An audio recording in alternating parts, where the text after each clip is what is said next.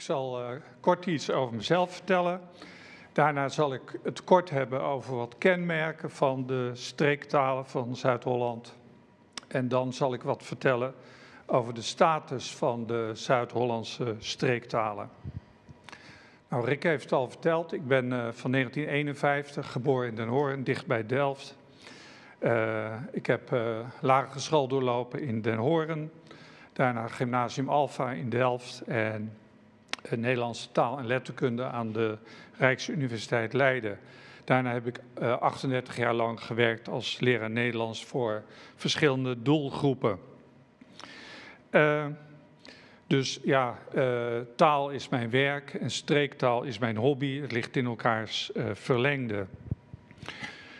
Wat zijn nu wat kenmerken van de streektalen van Zuid-Holland? Nou, uh, werkelijk het allerbelangrijkste kenmerk van de streektalen van Zuid-Holland is dat ze dicht tegen het algemeen Nederlands aanliggen.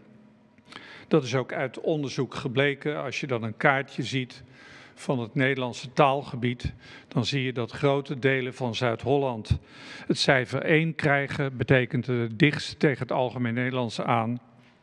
En andere delen van het Nederland krijgen dan een hoger cijfer. Dat betekent verder weg van het algemeen Nederlands. U hoort mij de term algemeen Nederlands gebruiken. Ik vermijd de term algemeen beschaafd Nederlands, omdat daar een element van discriminatie in zit dat ik wil vermijden. Wat versta ik onder een streektaal en wat versta ik onder een dialect? Een dialect is een uh, taal van een kleine dorpsgemeenschap. Bijvoorbeeld Scheveningen heeft zijn eigen dialect. En een streektaal is een bundeling van dialecten. Bijvoorbeeld het Delftlands noem ik dan een streektaal. Maar ik heb daarmee dus het allerbelangrijkste genoemd. Het, uh, een kenmerk van de Zuid-Hollandse streektalen is dus dat het dicht tegen het algemeen Nederlands aan ligt. Dat kun je ook op een andere manier uitdrukken. Als het zo zou zijn dat er een, uh, een uh, vervolgserie op tv zou worden uitgezonden uh, in de streektaal, in een streektaal van Zuid-Holland, dan zou je daarvoor geen ondertitels nodig hebben. En dat, dat geldt bijvoorbeeld voor Twents of het Gronings uh, niet. Hè. Daar heb je wel degelijk ondertitels nodig om het voor iedereen uh, duidelijk te, te, laten blijven. Uh, dat is één kenmerk. En dan hebben we nog een tweede kenmerk. En dat kenmerk geldt eigenlijk voor alle streektalen in, in Nederland. Dat is dat het heel erg hard achteruit gaat. het is wel bekend dat, in het, dat het Limburgs nog vrij sterk staat. En het Fries, uh, als je dat, nou dat is eigenlijk een aparte taal, maar ook dat staat nog heel erg sterk en is niet zo onderhevig aan, uh, aan die uh, achteruitgang. tot zover iets over de kenmerken van de streektalen. Nu iets over de status van de streektalen. Het is heel opmerkelijk dat de streektalen van Zuid-Holland zo'n lage status hebben. Ze worden van hogerhand eigenlijk helemaal niet gewaardeerd. Hoe kan ik dat uitdrukken? Nou, er is bijvoorbeeld anders dan in andere delen van Nederland uh, geen streektaalfunctionaris. Iemand die dus werk maakt van het onderzoeken van de streektaal. Er is geen instituut waar mensen werken die de streektaal bestuderen. Er is ook geen tijdschrift dat uh, systematisch aandacht schenkt aan de streektalen. En, dat is ook uit onderzoek gebleken, streektaal in de media, het komt in Zuid-Holland bijna niet voor. Dus uh, er is eigenlijk, kun je zeggen, en dat moet je, uh, ja, dat kun je betreuren, maar het is gewoon een feit. Er is geen streektaalbeleid. Eh, dat betekent niet dat er geen aandacht voor is, want er zijn wel degelijk allerlei initiatieven, maar die komen altijd van onderop. Vanuit kleine kring van individuen of van verenigingen die uh, speciaal studie maken van de streektaal. En hoogtepunten in Zuid-Holland vind ik nog altijd uh, het werk van Piet Spaans, het woordenboek over het Schevenings. En het werk van uh, de Vink en Van der Marel, het kort geleden uitgekomen Katwijks woordenboek. Uh, dergelijke boeken die vinden heel veel uh, weerklank en krijgen heel veel waardering. Maar zoals gezegd, het zijn dus initiatieven van onderop. Ik heb zelf ook die ervaring. Ik heb twee boeken geschreven over de streektaal van Delftland en van Delftland. En dat is dus Delft en omgeving. Dit is mijn eerste boek, Kreen en Gruizig gekke woorden natuurlijk voor een buitenstaander. En dit is mijn tweede boek, Wonen in Woorden. Beide gaan dus over de streektaal van Delftland. En de ontstaansgeschiedenis van die boeken is, uh, denk ik, erg leuk. Ik heb 52 weken lang heb ik een rubriek in streekkranten geschreven. En ik vroeg aan mensen om daarop te reageren. En dat is in ruime mate gebeurd. En alle waardevolle aanvullingen of opmerkingen heb ik verwerkt in de tweede versie van de teksten. En dat zijn mijn uh, boeken geworden. Uh, en uh, die aantallen reacties die geven iets aan van de mate van waardering. Ik heb op beide boeken ongeveer 100 reacties gekregen. ook als ik over mijn boeken in de streek spreek, merk ik dat heel veel mensen zich aangesproken voelen. Er is, ik heb nu inmiddels, sinds ik ermee begonnen ben, een jaar 15 geleden, zo'n uh, 125 lezingen in de streek gegeven. En als je dan bezig bent, dan merk je hoe erg het leeft onder de mensen. Ik heb wel eens een keertje gehad dat ik uh, stond te spreken en toen werd ik onderbroken door een mevrouw en die zei: Meneer Tetro, nou moet u eens even stoppen. Dus ik was verontrust van wat heb ik nu weer verkeerd gedaan. Maar die mevrouw die ging opstaan en die zei, als ik u zo hoor praten, dan is het net alsof ik mijn vader hoor. Nou, dat is eigenlijk precies wat ik uh, zou willen. Dus samengevat, de status van de streektalen is heel merkwaardig. Er is geen streektaalbeleid, er is geen organisatie, maar er zijn allerlei initiatieven van onderop. En als die initiatieven ontplooid worden, blijkt dat er onder de mensen verrassend veel belangstelling voor het onderwerp is. Dat is wat ik wilde vertellen en daar laat ik het eventjes bij. Ja, hartstikke bedankt Henk. Ik mocht Henk zeggen. Ja, ja, ja, zeker.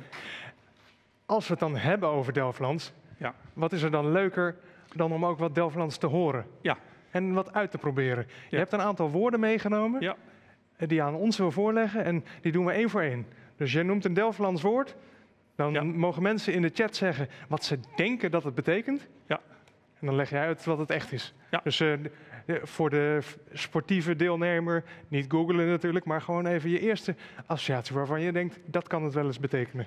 Uh, en dat doen we met hoeveel woorden? Tien. Tien, oké. Als we er klaar voor zijn, even checken bij Tamara de woorden kunnen binnenkomen op de chat wat de betekenis zou kunnen zijn van het eerste woord. Nummer 1. Uh, ja, ik, uh, ik heb ze ingedeeld in grammaticale categorieën.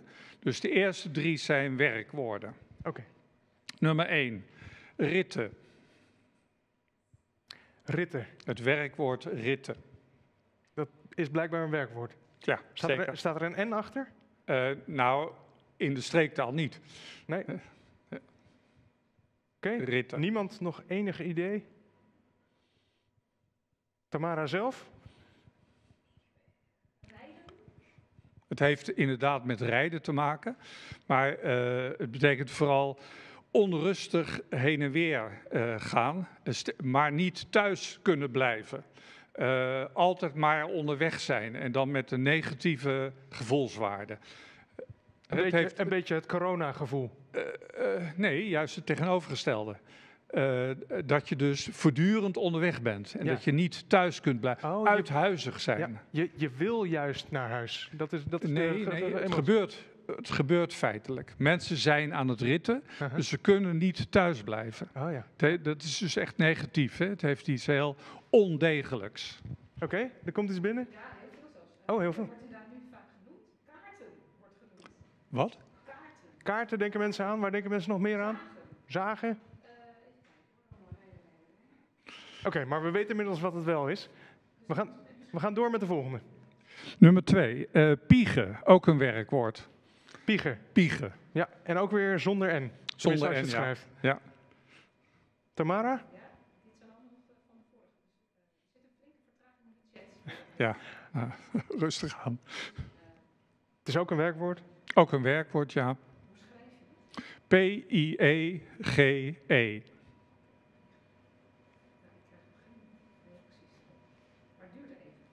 Duurt even. Ja, misschien kun je het ook in de chat erbij zetten steeds.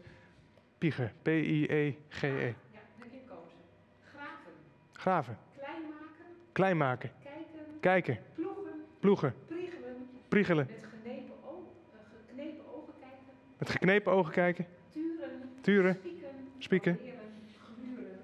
Proberen, gluren. Nou, ik, ik, heb, ik, heb, ik heb vier betekenissen gehoord die wel passen erbij. Het is inderdaad uh, ingespannen, moeizaam kijken. Dus als het bijvoorbeeld donker wordt, dan kun je gaan zitten pieren om iets te kunnen ontwaren. Ja, dus die, die was goed voor diegene. Dan uh, de volgende. Het werkwoord kwarren. K-W-A-R-R-E. K-W-A-R-R-E. Ja. Kwarren. Dus niet kwartel, maar kwarren. Ja. Kwarren. En dan uh, ook weer zonder N. En het is ook een werkwoord. Ja. Oké. Zet je hem door, Tamara? K-W-A-R-R-E.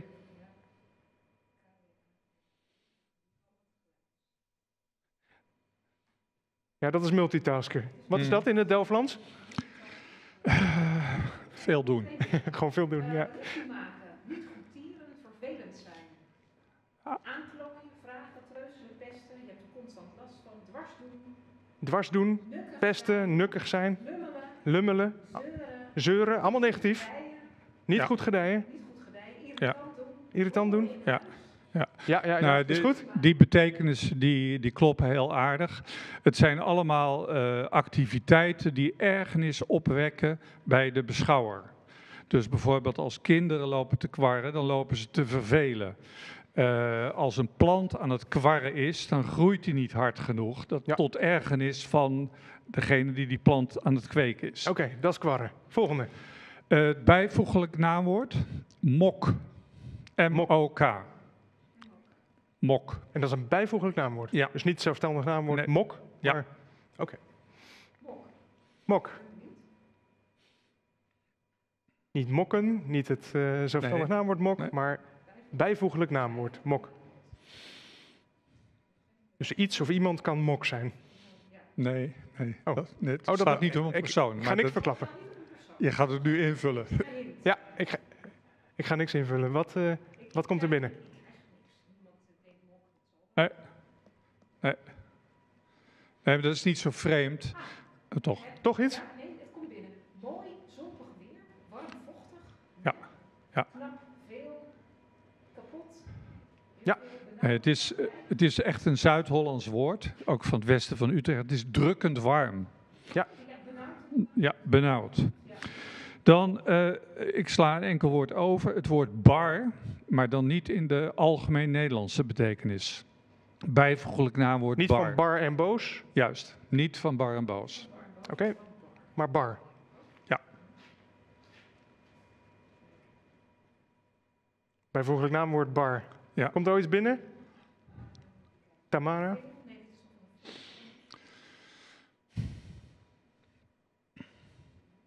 Wat zou bar kunnen zijn? Ja, het duurt even. Maar het is, het is wel een belangrijk begrip in het Delftlands. Ja, ja, het is... Het is uh... We gaan, we gaan no, uh, nog geen betekenis geven, maar... Oké, okay, nou, ik vertel er even bij. Tof, erg. Tof, erg, koud. Erg gezellig.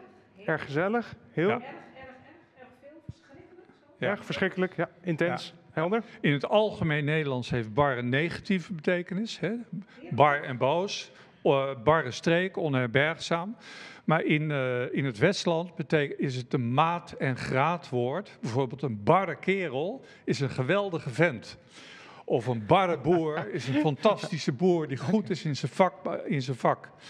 Uh, barre muziek. En hoef je niet bar goed te zeggen, dan is gewoon nee, bar nee. genoeg. Ja, nou, dan zeg je van, uh, dat is een barre vent. Ja? Een geweldige okay. kerel. Goed. Een toffe... Nou, nog eentje dan. Ja. Uh, de laatste dan. Het woord kreen. K-R-E-E-N. Kreen. Dus K-R-E-E-N. Juist. Bijvoeglijk naamwoord. Bijvoeglijk naamwoord, ja. Ja, dus K-R-E-E-N. Ja, hij staat nu in de chat. Doe dat even voordat mensen typen. Ja, prima. We moeten ook niet aandringen. We willen niet kwarren tegen de mensen. Nee, nee, nee, nee.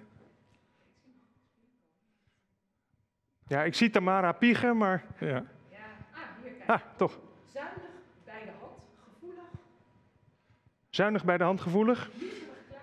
Miserig, Nee, klein. eh, bij de hand en miserig niet, maar kreen is vooral overdreven gevoelig, overdreven kwetsbaar, eh, over, het al te kieskeurig, F- eh, teer en fijn gevoelig, dat soort betekenissen.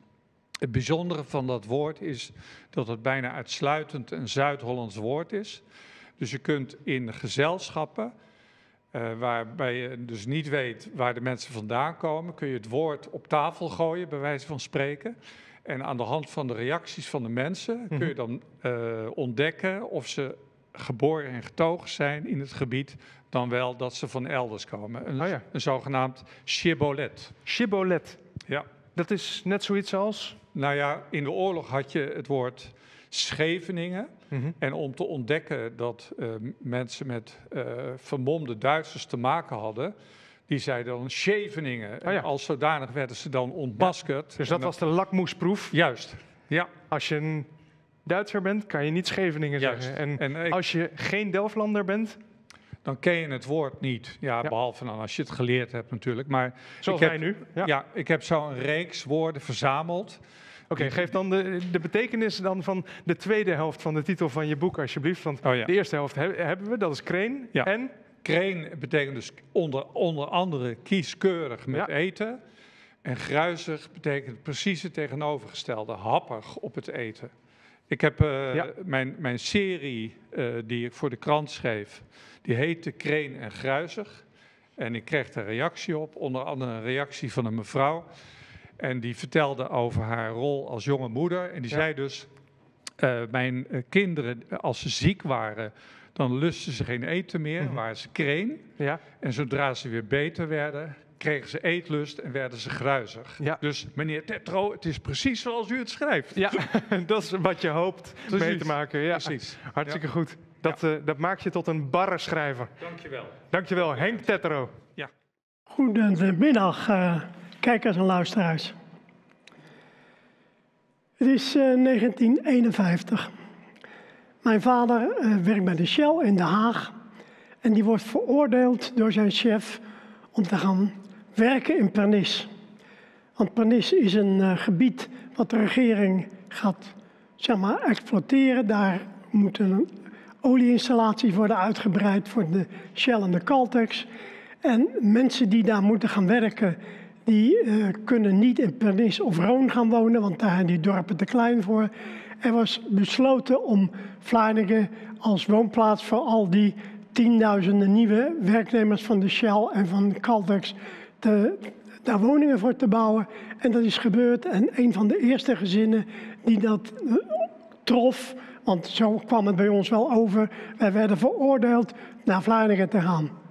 En eh, ik kwam eh, vanuit een Belgisch park in Scheveningen terecht in een, dat was een moderne plaats, in een stoffige plaats die ze, de re- relatie had met de visserij en waaromheen een grote eh, gedeelte boerderijen, er waren 104 boer- boerderijen in het voor, voormalige Vlaardingen ambacht.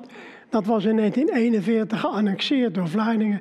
Dus het was een tweedeling. Het ene gedeelte van het, eh, van het volk, dat waren vissers. En het andere gedeelte rondom, dat waren boeren en boerenarbeiders.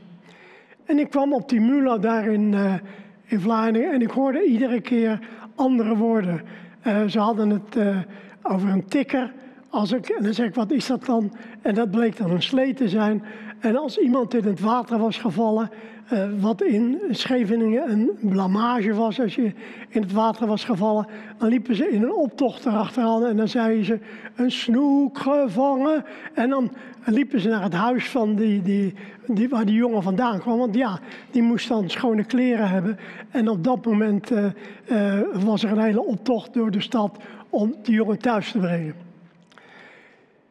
Ik kwam daarna in Rotterdam op school. Ik heb vier jaar in Rotterdam school gegeven.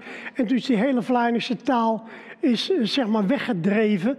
Want wij woonden in een gebied waar allemaal Groningers en Drenters, uh, Drentenaren naar Vlaardingen waren gehaald. En dat was eigenlijk een hele andere gemeenschap als de Vlaamse gemeenschap. Dat was ook een gedeelte van de stad die helemaal daarvan los stond. Zo'n hele brede verkeersweg was ertussen. Dus ik heb vier jaar eigenlijk met die Vlaamse taal niks te, ma te maken gehad. Toen kreeg ik een vriendin en ik werkte intussen niet meer uh, in de horeca waar ik voor opgeleid was in Rotterdam, maar in een manketbakkerswinkel. Daar kwam ik een aardige juffrouw tegen. Daar kreeg ik verkering mee en ik ging op de eerste avond, toen er een verjaardag was van een van haar ouders, naar die familie s'avonds. En daar zaten allemaal mensen die gerelateerd waren aan de Vlaamse visserij. En ik hoorde verhalen en ik hoorde woorden die ik helemaal niet begreep. En dan zei ik iedere keer, ho, mag ik even, wat is dat? En dan zeiden die mensen, hij zit gewoon dat op te schrijven. Wat bedoelt hij daar dan mee? Wat wil je dan maar gaan doen? Ik zei, nou, ik vind het gewoon aardig om die uh, woorden die ik in Scheveningen ook gehoord had en dikwijls anders waren, dat ik dat ook voor Vlaanderen noteer. Nou, er gaan enkele jaren voorbij. Uh, ik ontmoet een paar oude Vlaardingers die zeg maar geïnteresseerd waren in de geschiedenis van de stad. En ik was als jong broekie uh, een beetje organisatorisch geïnteresseerd. En ik zeg, zullen we proberen een historische vereniging op te richten? Dat waren dus twee oude Vlaardingers. Ik en ik had een, een vriendje erbij gekregen die uh, geschiedenis had gestudeerd. En we hebben met z'n vieren de historische vereniging opgericht. En uiteindelijk, uh, na een jaar, zei ik, uh, ja, we hadden het alles over de klederdracht gehad. Ik zeg, laten we een, proberen iets over de Vlaamse taal te doen. Ik zeg, er is een professor in Leiden, professor De Bree, of professor Van Bree. En de, die kan ons dan wel wat vertellen. Zij zei, Vlaamse taal, er is helemaal geen Vlaamse taal. Ik zeg, je zal opmerken uh, hoe dikwijls jullie uh, woorden gebruiken die niet in de Vlaamse taal thuis horen. En we hebben die professor die uit Vlaardingen was uitgenodigd.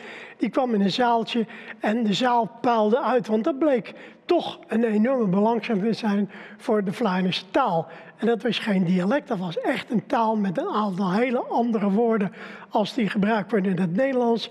En uh, nou ja, hij zegt, uiteindelijk moet je eens proberen om daar uh, zeg maar een boekje van te maken. Nou ja, je weet hoe het gaat. Ik had een onderneming, ik werkte hard en ik kwam helemaal niet aan een boekje tot een jaar of twintig geleden een paar jongens uit Capelle uh, mij uh, benaderden en zeggen: U heeft een beetje kennis van de Vlaamse taal, zouden we niet eens een keer daar iets over kunnen doen?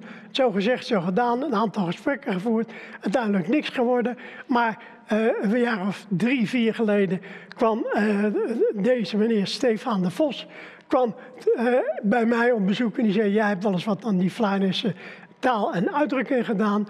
Uh, zou je mij sa samen met een aantal andere mensen op weg willen helpen om daar een boek van te hebben? Ik zei, nou, is dat wel een boek waardig? Want tenslotte, ja, er is al zoveel gepubliceerd over. Hij zei, nee, dat gaan we doen. Nou, hij heeft een jaar lang onderzoeken gedaan. Hij heeft mijn cahiers die ik altijd bij me had als ik uh, naar oude mensen toe ging en waar ik alle woorden uh, opschreef wat het betekende, want het gaat me niet alleen om het woord, het gaat me ook over de betekenis van het woord. Uh, genoteerd. Hij heeft het boek bijna een jaar thuis gehad. Hij heeft mijn aantekeningen gebruikt om te kijken wat hij nog gemist had en uit de originele archieven van Vlaardingen. En op zo'n manier is twee jaar geleden is dat boek verschenen, uitgegeven door de vrienden van het Visserijmuseum. En uiteindelijk uh, is dat boek, uh, zeg maar, uh, de toonbank afgegaan. En uiteindelijk hebben we hierdoor een stukje Vlaanderen geschiedenis vastgelegd. En niet alleen een paar jaar daarvoor waren ook de klederdrachten van Vlaanderen geregistreerd. En uh, mijn hoop is ook nog eens een keer iets over de kinderspelen en de uitdrukkingen die je op straat gebruikte uit te geven. Dus uh, we gaan proberen op zo'n manier toch de geschiedenis van onze hele oude stad, want Vlaardingen is een van de oudste steden van Holland, vast te leggen. Omdat we over twee jaar, als Vlaardingen 750 jaar geleden zijn stadsrechten heeft gehad, uh, een publicatie te kunnen maken dat al die volkskundige onderwerpen zijn vastgelegd. En niet alleen de plaatjes, maar ook de woorden en de taal. Dat was het. Voilà, het Vlaardings. Dank Jan Andersson. Uh, schuif een klein beetje op, zodat we afstand kunnen houden terwijl we iets van Vlaardings leren. Namelijk, uh, je hebt ook een paar woorden meegenomen. Uh, kies er een paar uit. Welke wil je in ieder geval even testen? Nou, ik wil het woord zaadbakje gebruiken als uh, beginnend woord. Zaadbakje? Wat, zaadbakje. Wat is nou het okay. zaadbakje in de Vlaamse taal?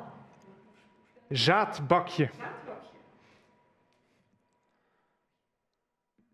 Dat had een Nederlands woord kunnen zijn. Ja, Als je het ja, hoort, ja. maar wat het is, vul het in in de chat en uh, we horen het van Tamara meteen binnenstromen. Oh, ik heb in de tussentijd nog een vraag aan Jan. Wat is Jans favoriete Vlaardingse woord of uitspraak? In de tussentijd tot we wachten. Ja, die houden we van hem te goed voor uh, eentje uit het lijstje. Oh. Precies. Welke er is nog niks binnen. Dus, zijn de betekenissen of mogelijke nou, betekenissen? zullen we dan maar gelijk uh, scoren, want uh, ja. het is het kribbetje waar... Ah, ah, ja, er komt de oh. eerste binnen. Condoom.